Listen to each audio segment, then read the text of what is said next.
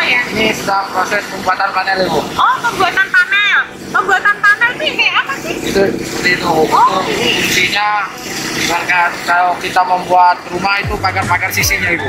juga di sini difasilitasi ada lab komputer untuk ngedit-ngedit, lab film, di sini juga ada kamera kalau kita butuh juga kameranya bagus-bagus semua.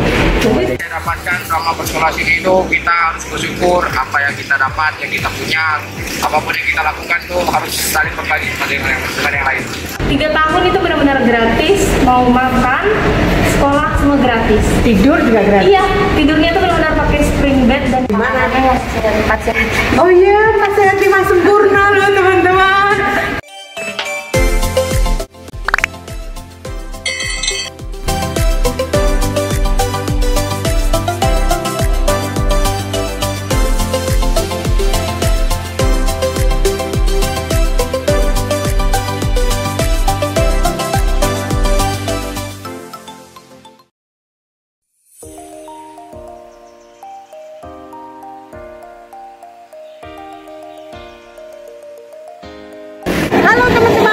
lagi di YouTube channel aku Yohana Lestari ya Bu A. Hari ini aku ada di SMK Bagi Negeriku di kota Semarang. Dan tadi teman-teman sudah lihat kan video yang ada dan yang apa yang mereka sudah lakukan di sekolah ini. Sekarang aku mau mewawancarai salah satu murid yang ada di sini. Nah, nama saya Jonathan, asal saya dari Kalimantan Barat, untuk saya Kabupaten Sakau. Jurusan saya TKRO, yaitu Teknik Kendaraan Ringan Otomotif. Di sini saya membantu jurusan PKP, yaitu Badan Konstruksi. Jonathan mau nanya dong, oh mereka mereka tadi kerjain apa ya? Ini sedang proses pembuatan panel ibu. Oh pembuatan panel, pembuatan panel kayak apa sih? Itu seperti itu. Oh, Itu ini. Misalkan kalau kita membuat rumah itu pagar-pagar sisinya ibu. Oh, pagar-pagar sisinya. Iya. Kamu ngomong-ngomong sudah berapa lama di sekolah ini? Ya, hampir dua tahun ibu. Oh, dua tahun. Terus selama kamu sekolah di sini, kamu kenal bagian atau gimana gitu? Full bu, tanpa ada bayar. Oh, full. Ini lihat ini, full nggak bayar ya? Full bu, tidak bayar. Wah, kok bisa begitu? Itu mungkin mujizat dari Tuhan yang Tuhan berikan sudah menciptakan seorang bunda atau kita bisa sebut dengan Mami Elis telah bisa mem- membiayai saya bersekolah di sini. Wow, asli kamu di mana? Asli dari Kalimantan Barat bu. Oh, dari Kalimantan Barat. Kok kamu bisa sampai ke sini? Itu butuh perjuangan ibu. Oh, butuh perjuangan ya. Selama kamu udah ada dua tahun di sini, kamu dapatkan? Kalau manfaat yang saya dapatkan selama bersekolah sini itu kita harus bersyukur apa yang kita dapat, yang kita punya, apa pun yang kita lakukan itu harus saling berbagi dengan yang, lain. Oh, jadi kamu merasakan kekeluargaan ya? Ya, betul. Wah, jadi ini menjadi keluarga besar kamu ya? Sini. Wah, luar biasa. Oke teman-teman, kita tanya lagi yang lain ya. Teman-teman, sekarang aku ketemu lagi dengan satu anak muda juga yang ada di sini. Namanya siapa? Perkenalkan nama saya Joshua Andika Jion, saya berasal dari Lampung. Saya di sini angkatan ke-10 Oh iya, terus kamu jurusannya apa di sini? multimedia. Oh multimedia. Terus apa yang kamu eh, selama kamu ada sekolah di sini itu berarti kan ada satu tahunan ya? Iya. Nah itu apa yang kamu manfaat apa yang kamu terima di selama sekolah di sini? banyak banyak belajar belajar juga di sini difasilitasi ada lab komputer film sini juga ada kamera kalau kita butuh juga kameranya bagus-bagus semua memadai banget semua alat-alatnya sangat-sangat memadai ya? ya Wow luar biasa. Terus kesan kamu apa? Eh, apa ada di sekolah ini? ya pertama bersyukur terima kasih sudah bisa sekolah di sebagus ini ya untuk itu terima kasih lah Kamu bisa berterima kasih karena kamu berasal dari keluarga yang bagaimana sebelumnya? ya kalau keluarga saya keluarga yang yang kurang mampu tapi bisa sekolah di sekeren di sini memadai semua fasilitas dan juga tidak ada biaya di sekolah ini Tanpa biaya di sekolah ini ya? ya Oke. Kalau kamu diberi kesempatan untuk mengucapkan sesuatu buat Ibu Elizabeth, kan kemarin kayaknya Ibu, Ibu Elizabeth habis ulang tahun ya. Iya. Nah, apa yang kamu mau sampaikan kepada beliau? terima kasih buat Melis udah uh, ambil kami semua juga semoga diberkati Tuhan terus Amin. sehat Amin. panjang umur terima kasih Melis Teman-teman, ini adalah salah satu yang juga eh, sempat berbagi di tempat ini, saya melihat satu pribadi ini adalah dia memang masih baru sekolah di, di sekolah ini, tapi dia ada di multimedia dan saya melihat dia ini sangat-sangat kreatif. Jadi dia eh, bikin video itu tuh sangat-sangat kreatif sekali dan hasilnya itu bagus banget. Terus belajar dan tetap semangat ya. Teman-teman, selanjutnya ini aku ketemu sama salah satu wanita yang kebetulan dia itu sudah lulus dari eh, sekolah SMK Bagimu Negeriku ini. Nah, lulusnya kebetulan baru ya. Iya baru benar. Nah, iya namanya siapa perkenalkan? Oke, perkenalkan nama saya Tiara Cindy Marani Purba.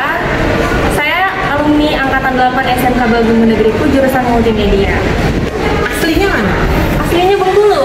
Wow, di Bengkulu ya. Iya, Bengkulunya kayaknya eh, jauh dari kota ya. Iya, lumayan. Lumayan gitu ya. Terus eh, selama kamu ada di sekolah Bagimu Negeriku ini kamu pernah bayar nggak di sini? Kalau saya sih gratis di sini. Oh, gratis. Bener-bener gratis. Oh, benar-benar gratis Iya, ya. luar biasa memang. Jadi berapa lama di sini? Mau makan, sekolah semua gratis. Tidur juga gratis. Iya, tidurnya itu benar-benar pakai spring bed dan nyaman.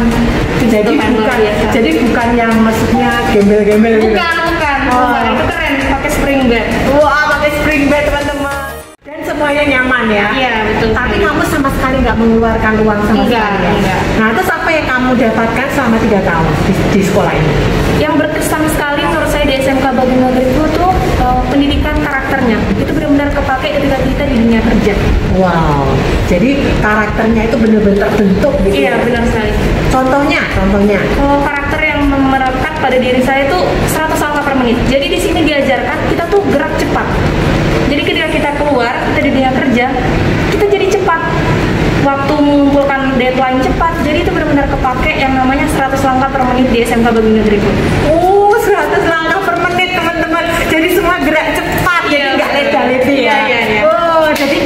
dengan sekolah-sekolah yang ada di luar sana yang berbayar ya. Iya, iya. Wah, luar biasa teman-teman. Nah, terus kesan pesan kamu apa eh, setelah kamu meninggalkan sekolah ini?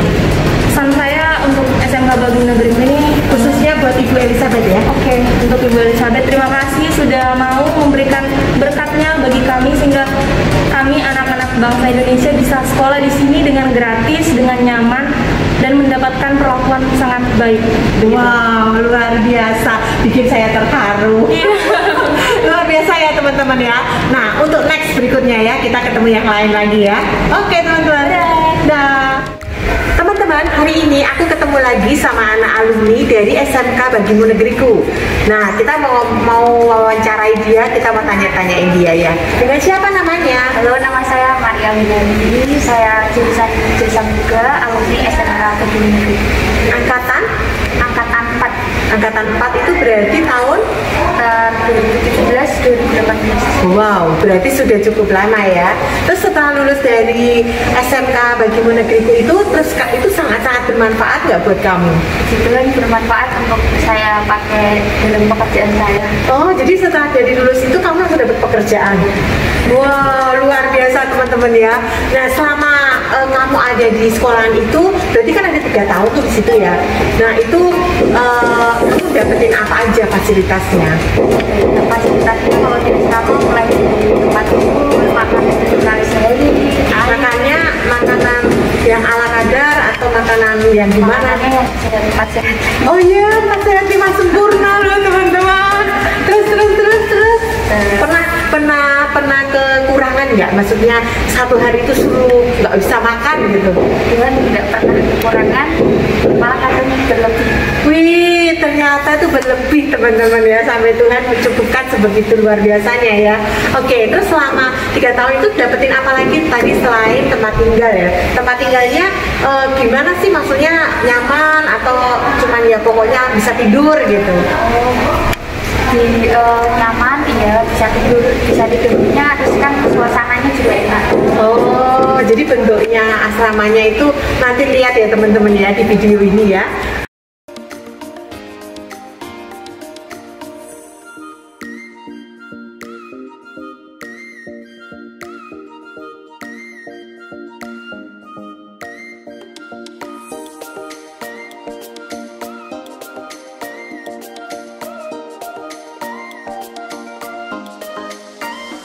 Ya. Nah, terus terus terus selain itu di sekolahan kamu dapetin apa aja kan kamu bagian masak ya. Nah itu eh, berarti kamu kan pasti banyak praktek kan. Nah sama praktek itu gimana? Disiapin sama eh, sekolah atau kamu mengeluarkan uang sendiri? praktek semua bahan disediakan dari sekolahan full dari sekolahan kita nggak mengeluarkan apa-apa lagi jadi kita tinggal praktek menerapkan teori yang sudah diajarkan guru-guru Wow, sampai sebegitunya teman-teman ya. Kira-kira ada pesan-pesan nggak buat penonton ataupun juga buat adik-adik kita yang masih ada di SMK Bagimu Negeri itu? ya eh, pesan saya untuk orang-orang yang menonton video ini jangan pernah menyerah atau jangan pernah berkecil hati Eh, kalaupun kalian belum punya biaya saat ini untuk menempuh pendidikan pasti Tuhan sediakan cara lain untuk eh, kalian boleh bersekolah dengan cara apa pun Tuhan pasti sediakan dan saya percaya masa depan kita ada di tangan Tuhan amin Amin. Terus kalau buat adik-adik mungkin ada? Eh, untuk adik-adik Bagi Negeriku yang saat ini masih menempuh pendidikan eh, tetap semangat eh, terima setiap didikan yang diberikan oleh Bapak Ibu guru juga untuk eh, juga didikan dari pembina asrama yang sangat bermanfaat ketika kalian sudah masuk di dalam dunia kerja. Mantap. Terus sama satu lagi pertanyaan. Setahu saya itu eh, di sekolah Bagimu Negeriku itu tidak apakah itu spesifik hanya untuk orang orang-orang yang Kristen, Katolik atau begitu atau untuk dibuka untuk umum? Eh, sebenarnya SMK Bagi Negeriku dikhususkan untuk orang-orang yang kurang mampu eh, dalam bersekolah jadi ini karena ini full beasiswa jadi eh, dikhususkan untuk orang-orang yang nggak mampu Semua agama ada di sekolahan ini juga ya? Oh ada ya. Jadi nggak mandang agama doang ya. Eh, eh, enggak. Jadi yang dipentingkan adalah apa tadi kamu ngomong? Oh, untuk khususkan untuk orang yang nggak mampu bersekolah atau orang tuanya yang nggak sanggup membiayai itu boleh masuk ke sini. Ah, jadi teman-teman ternyata dikhususkan untuk teman-teman yang keluarganya itu benar-benar benar-benar ya, benar-benar tidak mampu. Nah, ini dibuka untuk orang-orang yang benar-benar tidak mampu. dan mau dan Oh, mau tidak mampu dan masih mau bersekolah ya. Jadi masih mau niat, punya niat ya, punya usaha, mau sekolah, mau pinter gitu ya. Luar biasa.